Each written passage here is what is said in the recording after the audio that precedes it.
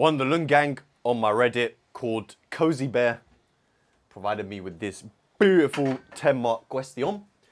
Uh, let's just do it, innit? It says y equals x squared r showing x. We have this uh, diagram there. Show the shaded region is this absolutely stunning expression with the Lun gang involved. So, uh, essentially what we're doing is we're just integrating between 0 and 3, right? So from here, we are deciding, all right, how do we even integrate x squared r showing r showing x with respect to x between 0 and 3. Now this is going to be a parts question, yeah, because we have a polynomial type expression and uh, an inverse hyperbolic. Now there's a trick to this. Now if we do parts, we're not actually able to leave the x squared because I don't know what r showing integrates to. So we're to have to swap these around, okay? So usually, well, you guys should know by now that when I do parts, I use Liddy. What is Liddy? I don't do UMV, yeah? Ain't nobody got time for that. So usually what I do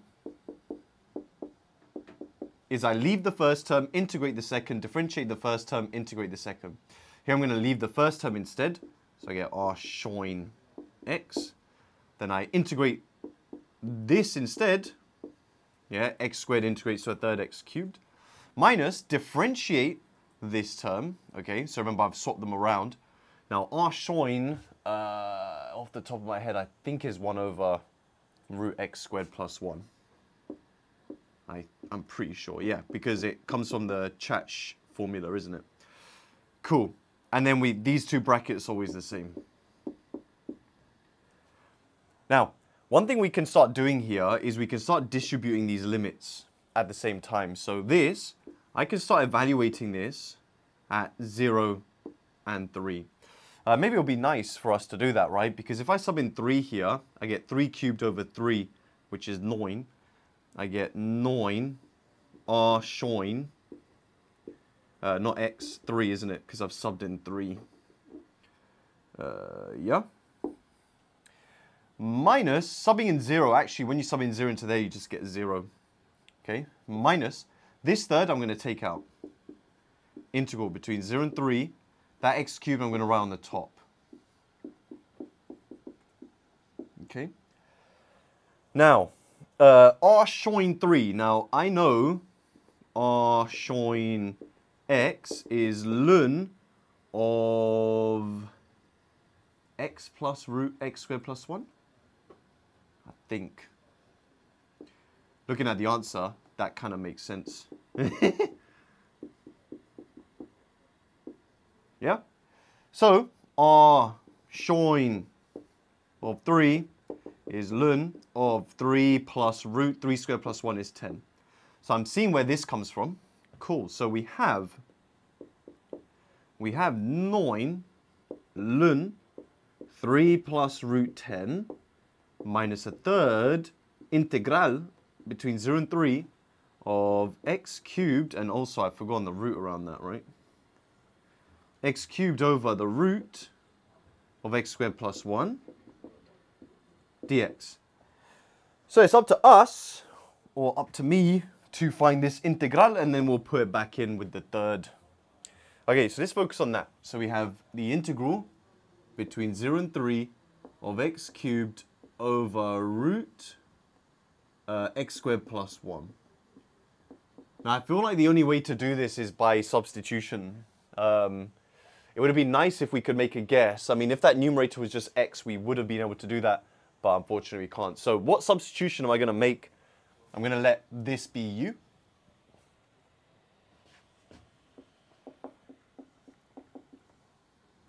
Okay, so um, we have to differentiate that, change dx into du, and I'm also going to have to change the limits, aren't I?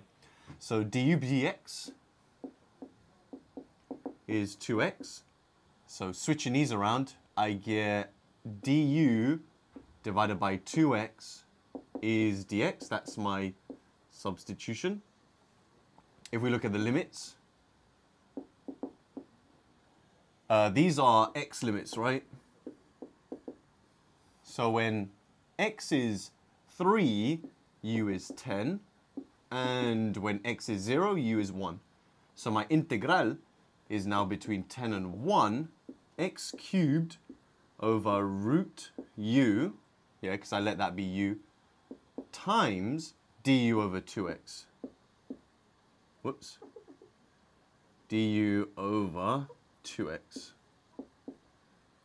Which the 2x is going to cancel with the x cubed to make it x squared. And that 2 in the denominator is a half, right? I can take it out. So I get a half integral between 1 and 10 x squared. Now x squared is u minus 1 over root u. I'm actually going to write that as u to the half because of what I'm going to do next. Uh, how do we integrate that? We split the fraction, innit? So we're going to have u to the 1 divided by u to the half. We take away the powers, and here we just get 1 over u to the half. We're going to bring that up to make it u to the minus half. So we get this.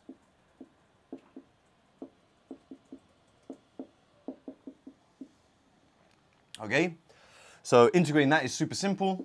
We have a half. Add 1 to the power, be u to the 3 over 2. Divide by that is 2 thirds. Um, minus, add 1 to the power is a half. Divide by that is 2 between 1 and 10. Okay, so something in 10 here is a bit orcs. Because that 2 means you root it, then you're cubing it, right? So this is saying root 10 cubed, which is root 10 times root 10 times root 10 which is 10 root 10.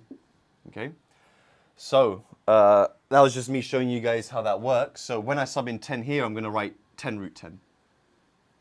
All right, so uh, cool. We have a half. 2 thirds times 10 root 10 minus, when you put 10 into this, easy, 2 root 10. Uh, minus when you sub in 1, you just get 2 thirds minus 2. What's that? Uh, minus 4 thirds? Cool. I haven't used a calculator all this whole thing, so uh, maybe there's a non-calculator question, which wouldn't make sense to be fair. It's a further maths question. So we have what? Uh, that's 2 over 1. That'll be 6. So it'd be 2 times 10, which is 20 minus 6, 14 root 10 over 3 plus 4 thirds. That half cancels the 14 and the 4 to make 2 and um, 7. So we get 7 root 10 plus 2 over 3. And that's that integral. Now we can go back to where we were before. So we get, so therefore, we have the 9 ln 3 plus root 10